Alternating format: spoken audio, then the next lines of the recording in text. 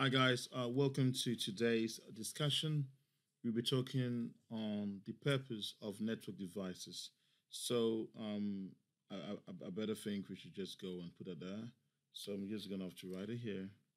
It's going to be, let me just be stylish. Oh, come on. The purpose of network devices. Now, um, what is a network? Okay. So, you have a friend here. Uh, his name is Steve. And he has another friend here who is an accountant called John. And John has a brother here. Why don't you make it a lady? A sister here called Lisa. Okay, so John is an accountant, and I'm gonna try and use a different color for that. Uh, let's use. So John is an accountant. Steve is an engineer.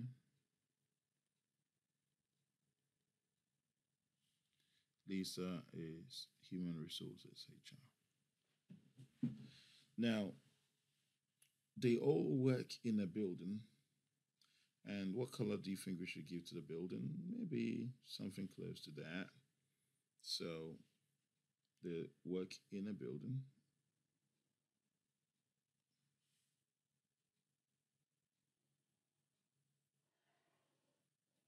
Something like that. Don't know what sort of building this is, but it's, it's somewhat a building. So Steve who is the engineer, has finished uh, working on a big project, okay? And um, he wants more funding, so he knows that the person to speak to is going to be uh, um, the accountant called John. Now, John has realized that uh, Steve is working so hard and has nobody else to help him and needs Steve to work with somebody so uh, he could achieve more in a short time than trying to get all the money and still um, stuck doing very little. So HR um, speaks to John, and then they speak to Steve, and they arrange for somebody else to help Steve, and his name is Samuel. Okay. So as you can see here, a network is when devices come together to share resources. Okay, so the same thing,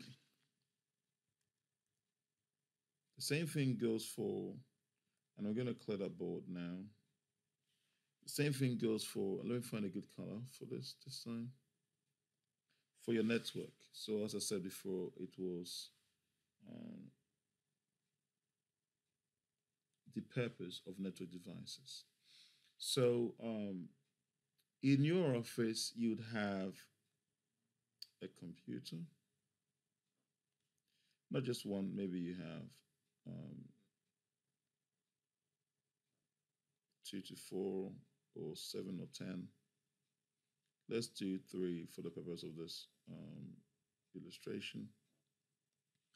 And you're all connected to a device, and I call the name of the device. It's a name you all know uh, if you began learning about networks. Um, so let me find a different color for that. Let's do something something better. So you've got a switch. Okay. Uh, I'm going to try and do the artwork better. So a switch is sketched this way. Okay. Now, the name of this person is Lisa, and this is Anne, and this is Nick. So that is your local area network. So remember, is Lisa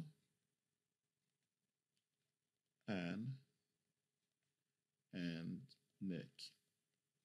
Okay. Now this one here is your switch. So let's find a better thing to describe. So that is your switch. Now this segment here, this switch, now it's in a building called building A. And there's another switch here.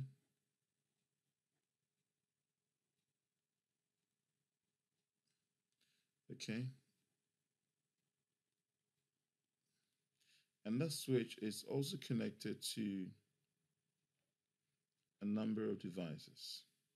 Now, this device is not going to look anything like what you've seen in the past. It's going to be a, an attempt of mine to draw something very important called a server. And then we have another device here, and that is going to be perhaps a laptop, and then another device here. And this time, let's say it's just another workstation. Okay. Now, maybe this device has a name called live.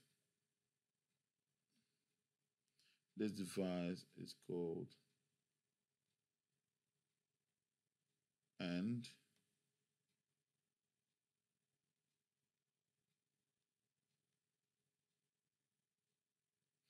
live and and this is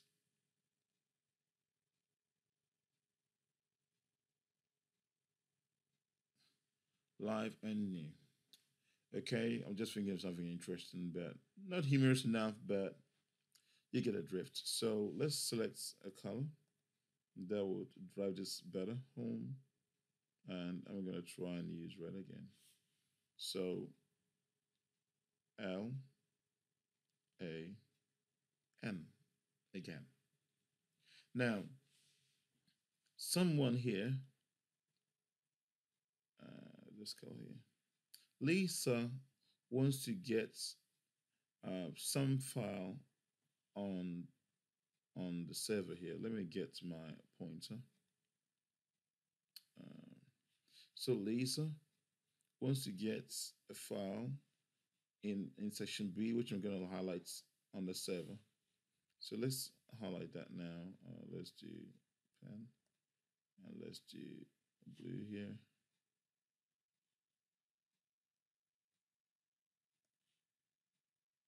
Okay, and Let's do um, green here. So this is B. Now remember that we, we said that network, um, the purpose is for them to share resources. So the workstation is a consumer. The server supplies. Okay and all these they may supply or consume. So now Lisa wants to get information on the server. Now Lisa here has a map drive to the server called live and um, maybe the file or the folder is called data. Okay. But Lisa wants to get that information from section B. So what do we do? We get the switch here to speak with that switch over there. So then we get a link. Now, do not worry so much about the technical terms for these. Um, that we can explain in future slides. But we get this switch to speak to that switch. Now, this is switch A and this is switch B.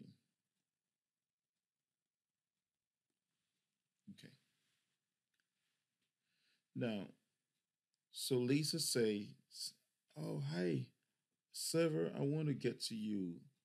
Um, this switch knows where the switch is." So Lisa says, "Hi, um, could I please make a request to Live to get me access to data?" And the switch says, "Okay." What is the IP of Live? Okay, the IP is 192.168.14.5. Okay, um, I have its MAC address and it's 8B4C9D3R.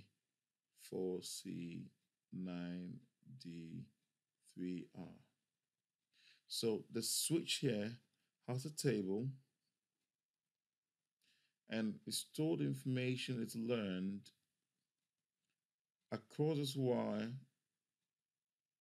store that information from its neighbor for life. and so now it's able to still tell this guy up here or this lady called lisa that hey lisa lisa i do know how to get you uh, all the way from here go across the Y, go to area B, and get to the server. And get the server to pass the live data, which is the one here, all the way down back to Lisa.